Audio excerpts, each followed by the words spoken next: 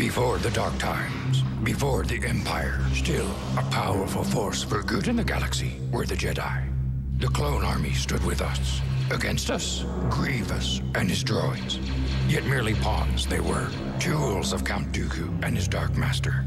Stories from those days, these are, of battles fought, friendships forged, and Jedi at the peak of our power. Star Wars The Clone Wars, a new adventure every Friday night, beginning October 3rd at 9 p.m. on Cartoon Network.